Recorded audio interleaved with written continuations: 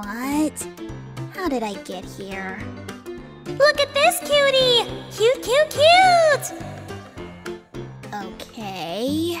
I'll deal with this later. I hope no one will notice me, and especially.